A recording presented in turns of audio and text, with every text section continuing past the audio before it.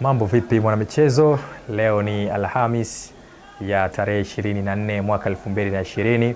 Kama kawaida tunakutana hapa kuzungumza michezo ndani na nje ya mipaka ya Tanzania, na kipindi ni Spoti Starehe, na mimi ni Yusuf Bigosi, na ambayo tunayo siku ya leo ni pamoja na ligi kuu ya soka Tanzania bara kuendelea siku ya jana kwa michezo mitatu kupigwa, huku Yanga ikiendeleza ubabe, lakini kwingineko katika michuano ya kimataifa Simba yaanza vibaya ugenini huku Namungo akitakata nyumbani, lakini pia kuna taarifa inayomhusu mchezaji wa zamani wa Young Africans Mrisho Ngasa ajiunga na mojawapo ya timu za ligi kuu. Ni timu gani hiyo? Ni hapa hapa utapata kusikia. Na kwingineko, Yanga yafuzu raundi ya nne ya michuano ya Azam Sport Federation Cup maarufu kama FA baada ya Singida United kushushwa daraja. Na kimataifa yapo mengi, lakini machache kati ya hayo ni pamoja na timu ya PSG kumfuta kazi kocha wake Thomas Tuchel kutokana na kutoridhishwa na mwenendo wa timu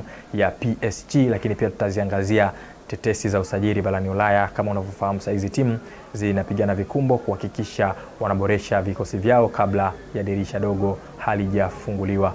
Na hayo na mengine mengi ungana nasi hapa mwanzo mwisho ili tupate kukufahamisha, na tunapata mapumziko mafupi, alafu tukirejea moja kwa moja tutakuja kuyatazama yale ambayo yamejiri katika michezo siku ya leo. Usiondoke, karibu sana mwana michezo.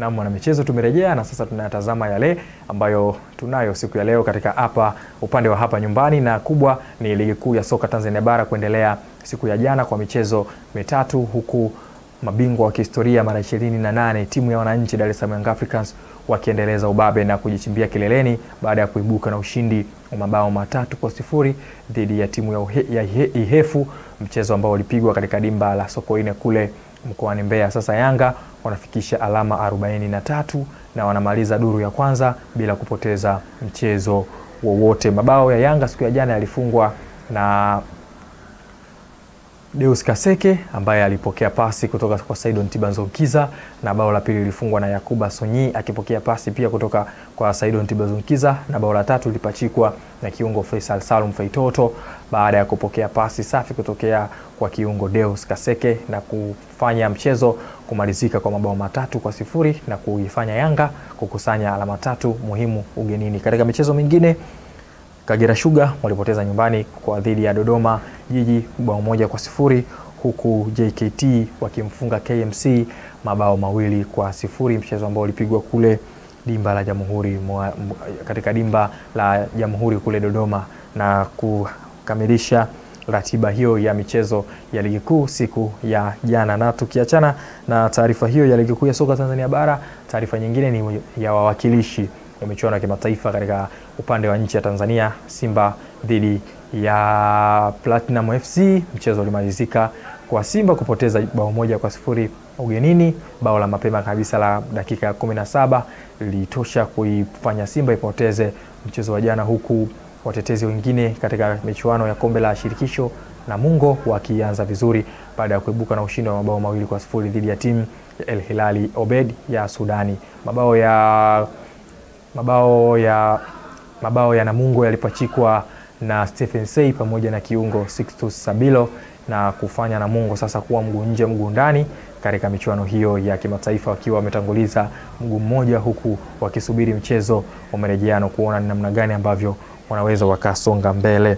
Lakini taarifa nyingine ambayo tunayo ni taarifa ya aliyekuwa mchezaji wa zamani wa Young Africans Mrisho Ngasa kujiunga na timu ya Gwambina FC kwa mwaka mmoja. Ngasa anajiunga na timu hiyo akitokea timu ya Ndanda ambayo ipo ligi daraja la kwanza baada ya kuporomoka daraja msimu uliopita. Hivyo Ngasa ni mali ya Gombina kuanzia sasa. Na taarifa nyingine ambayo tunayo hii ni taarifa ambayo inahusu timu ya Dar es Salaam Young Africans kufuzu raundi ya nne ya michuano ya Azam Sport Federation Cup, na hii ni baada ya timu ya Singida United kushushwa daraja kutokana na kosa la kutopeleka timu uwanjani katika michuano yao ambayo wanashiriki ya ligi daraja la kwanza. Hivyo Singida United wameshushwa madaraja mawili na kimsingi Yanga Afrika ilibidi wacheze mchezo wa raundi ya tatu dhidi ya Singida United, mchezo ambao ulitakiwa kupigwe tarehe ishirini na sita, lakini kutokana na adhabu hiyo ambayo Singida wamepewa, kanuni zinairuhusu moja kwa moja timu ya Yanga kusonga mbele. Kwa hiyo Yanga sasa watacheza raundi ya nne, hivyo watasubiri draw ili kujua ni nani ambaye wamepangwa naye katika raundi hiyo ya nne, na taarifa hiyo ndo inatutamatishia taarifa za hapa nyumbani, na tunapata mapumziko mafupi, halafu tukirejea moja kwa moja tutakuja kuiangazia yale ambayo yamejiri katika anga la kimataifa. Usiondoke.